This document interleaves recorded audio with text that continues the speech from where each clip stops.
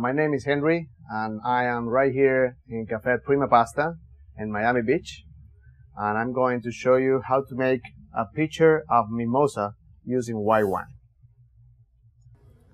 This uh, particular pitcher, I'm gonna use, I'm gonna fill a quarter of the pitcher with ice.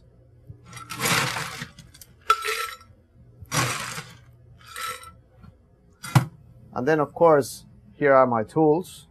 And we're gonna use um, fresh orange, of course. We're gonna use a little bit of uh, white grapes for the white wine, right? White grapes. And we're gonna start to put a little bit of uh, orange liqueur. I'm gonna say one part or one ounce and a half of orange liqueur. Also, I'm gonna make um, this particular picture a little bit more colorful. And you can add any particular colorful fruit like uh, strawberries or blueberries or blackberries just to make it looks a little bit more colorful and and you can have some fun as well adding some different type of um, fruits. But the basic is of course the orange and the white grapes for the white wine we are also going to put three teaspoons of sugar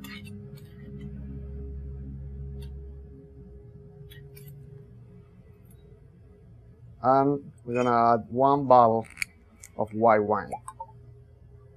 You can use Chardonnay or Pinot Grigio.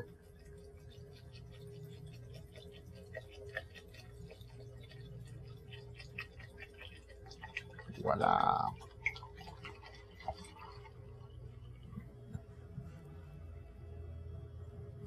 Okay. Stirring very well.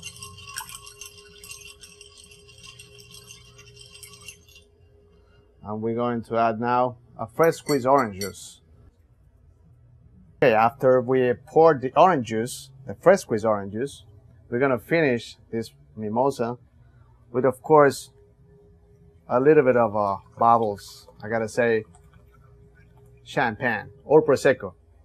Um, I gotta say one glass, one big glass of champagne, prosecco. Also, you can add some fruits from the pitcher or and at the end, we finish it with a beautiful garnish. And here we are. Okay, and here is the mimosa using white wine. Thank you for um, tuning in. My name is Henry, and I'm in Cafe Prima Pasta in Miami Beach. Thank you very much.